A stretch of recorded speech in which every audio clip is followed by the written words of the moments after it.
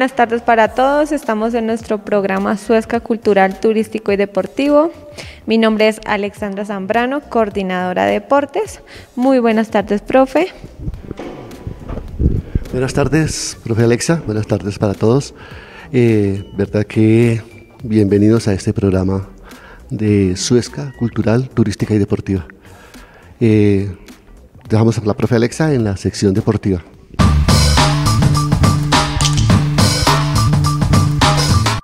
En nuestra sección deportiva, el día de hoy hablaremos un tema muy importante, que es la actividad física en tiempos de pandemia. Hoy tenemos un invitado especial. Buenas tardes, Diego, ¿cómo estás? Mm, buenas tardes, Alexandra. Buenas tardes a toda la comunidad de Suezca, Cundinamarca. Bueno, Diego, para que la comunidad de Suezca te conozca, eh, cuéntanos un poco de ti. Bueno, eh, yo soy profesional en Ciencias del Deporte de la Universidad UTCA. Soy magíster en Ciencias y Tecnologías aplicadas al deporte y la actividad física de la Universidad Manuela Beltrán. Soy docente de biomecánica deportiva y planificación deportiva eh, y, e investigador en el área del deporte. Bueno, tú has hecho en esta época, has hecho unas ponencias sobre la actividad física en tiempos de pandemia. Las personas como han estado en sus casas han optado por hacer actividad física también desde casa. Eh, ahora que ya no hay tanta restricción, eh, van a empezar a salir y a retomar la actividad física. ¿Cómo recomiendas que debe ser esta, esta iniciativa eh, para volver a retomar actividad física? Mm, bueno, para retomar la actividad física, la primera recomendación que les tengo es tomarlo con calma, ¿sí?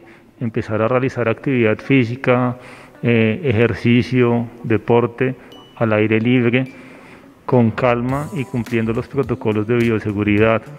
Eh, tratar de realizar los ejercicios que vayan a realizar, la práctica del deporte que vayan a realizar de forma individual. Mm, procurar que los ejercicios o la actividad física que realicen no sea de una intensidad elevada, tratar de que sea de una intensidad leve.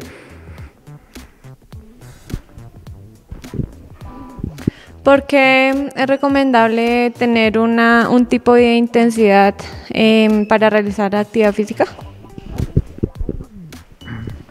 Bueno, en este caso lo que sucede es que eh, el corazón es el motor del cuerpo, es el que realiza el mayor esfuerzo. Al llevar casi en confinamiento cinco meses, el corazón está inactivo, nos hemos vuelto personas sedentarias. Entonces estas personas que se han vuelto sedentarias, si realizan esfuerzos de intensidad mm, alta, lo más posible es que sufran un infarto agudo del miocardio o un infarto cardiopulmonar. Eh, no quiere decir que esté 100% seguro de que les vaya a suceder, pero pues es mejor prevenir.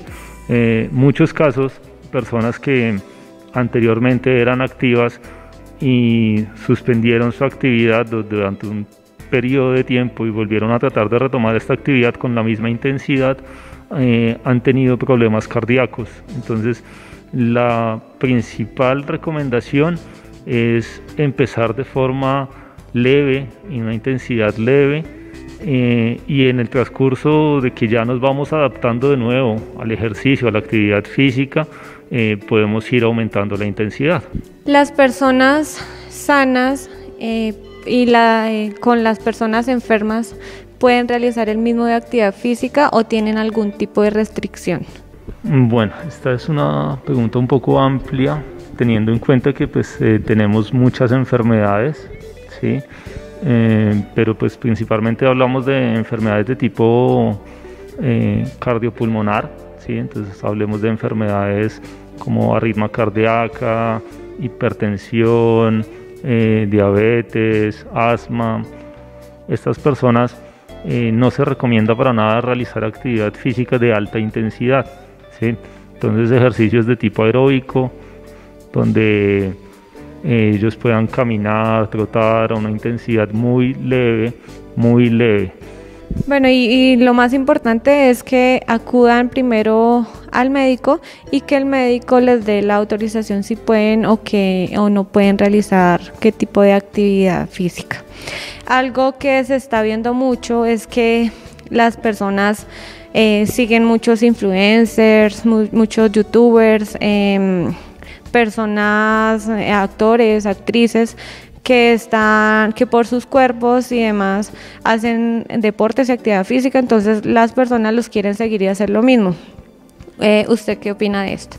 Hoy en día tenemos una cantidad de youtubers, influencers de actividad física que por el hecho de practicar algún deporte y llevar un tiempo realizando actividad física, suben rutinas y consideran que todo el mundo puede realizar este tipo de rutinas. Lo que debemos tener en cuenta es que todos y cada uno de nosotros, eh, nuestro cuerpo funciona de una forma diferente. ¿sí? No todos vamos a obtener los mismos resultados en el mismo tiempo, algunos nos vamos a demorar más, otros nos vamos a demorar menos. Pero lo más importante de esto es eh, que se lleve de la mano de un profesional del área, que esa persona eh, le sepa controlar las cargas, ¿sí?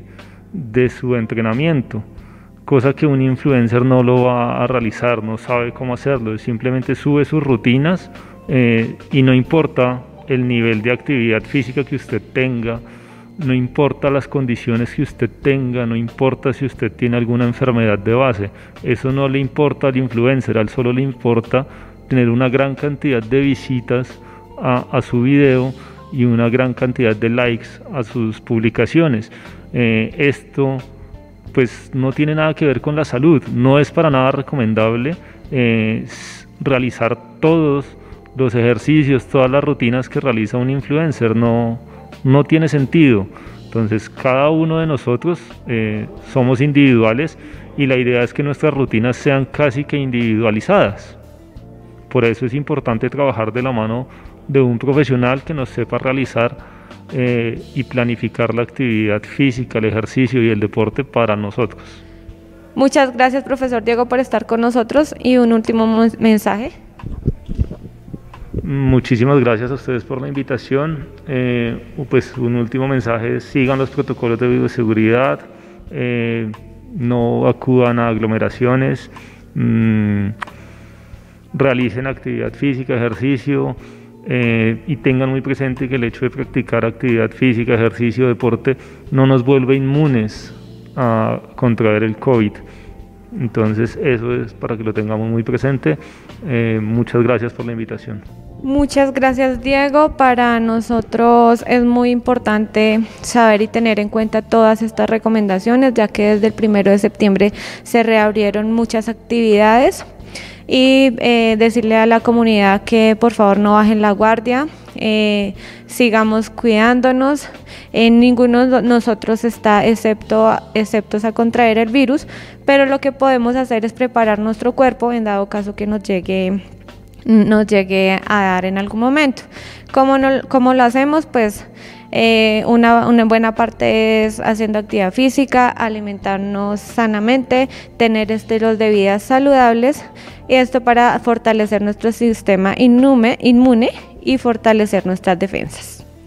Dándole continuidad a nuestros programas que venimos desarrollando de parte de la Secretaría de Cultura, Turismo y Deporte, seguimos con el torneo de banquitas que ha sido eh, muy aceptado por la comunidad. Esta semana estuvimos presentes en el barrio Villa Patricia, en la vereda Casicazgo y en el barrio Santa Isabel. Participaron eh, en todas las categorías, eh, recordándoles que todas las categorías pueden participar, desde, lo, desde un año hasta los 10 años, que es la primera categoría, la siguiente categoría de 11 a 17 y la otra categoría de 18 años en adelante.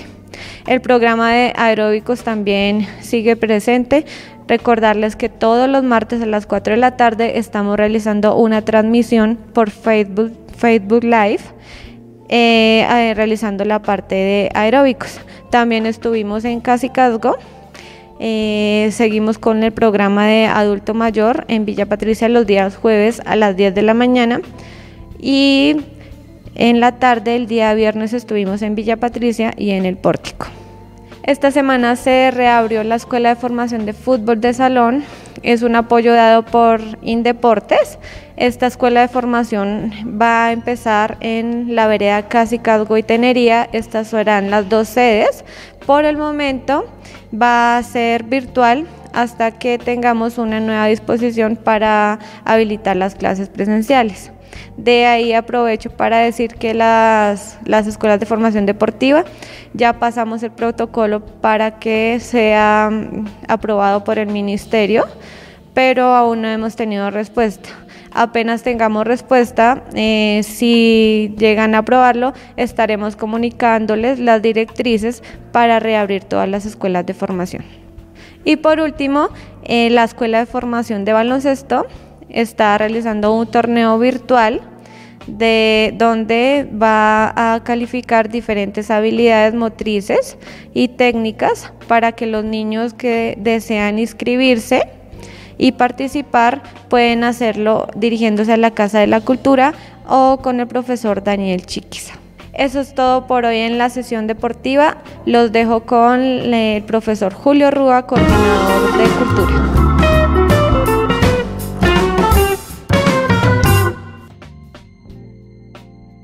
Muchas gracias, profe Alexa. Bienvenidos ahora a esta información sobre la cultura. Hoy estamos de plácemes eh, al celebrar o celebrando que el Consejo que el Consejo de que el Consejo Municipal haya aprobado el Estatuto Municipal de Cultura. ¿Verdad que la cultura de Suezca debe estar orgullosa con, este, con esta determinación que se toma? Los 11 concejales votaron a favor del Estatuto Municipal de Cultura. Nos sentimos, vuelvo lo digo, nos sentimos muy contentos. Ya tenemos una ley que nos está rigiendo. Eh, por otro lado, hablar de las escuelas de formación. Ya nosotros tenemos el vía libre, entre comillas, ¿no? para, para arrancar. El Ministerio de Cultura, el Ministerio de Salud nos, eh, nos, nos dieron unas resoluciones y de hecho nosotros las estamos adoptando para que las escuelas de formación artística y cultural empiecen a trabajar. Mientras eh, se expide el decreto desde la alcaldía sobre el proyecto de acuerdo del Estatuto Municipal de Cultura, para nosotros poderlo socializar, los dejo en compañía de la persona encargada de la biblioteca. Muchas gracias, profesor Julio Rúa. Buenas tardes para todos. Por parte de la Biblioteca Pública Municipal Luis Felipe Cortés, hemos estado realizando actividades junto con la CAR la primera actividad realizada fue conversando con la naturaleza, donde los niños, niñas, jóvenes y adultos participaron de un poema con el río Bogotá. La segunda actividad realizada con la CAR fue la expedición botánica casera. Esta actividad eh, fue realizada con los niños donde eh, por medio de una imagen nos presentaban las plantas que tenían en casa y su función. Eh, además de esto, iniciamos nuestra actividad Bibliovereda. Esta actividad es, un, es una extensión del servicio bibliotecario donde, bueno, nuestra primera vereda fue Arrayanes.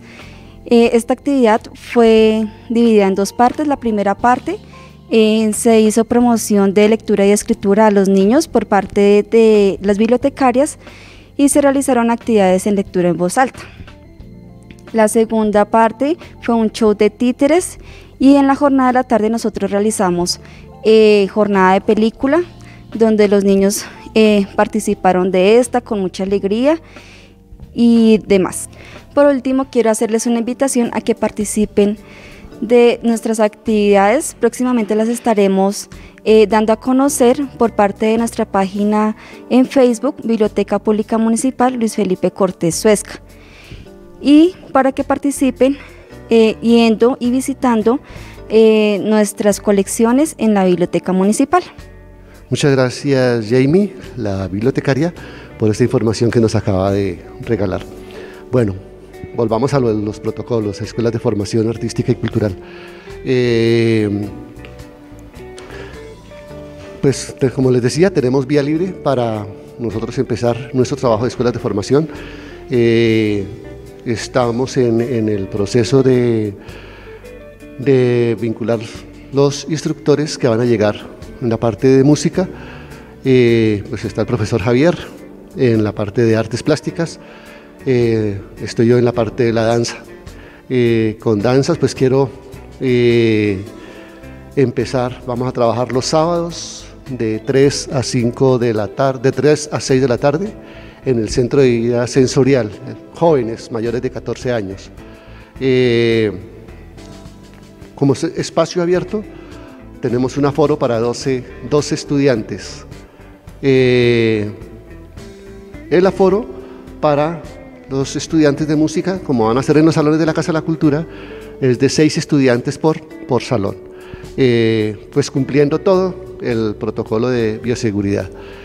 Nosotros pues estamos en esto, eh, trabajando juiciosos para que nos podamos, podamos dar apertura a, las escuelas, que harta falta que están haciendo en este momento.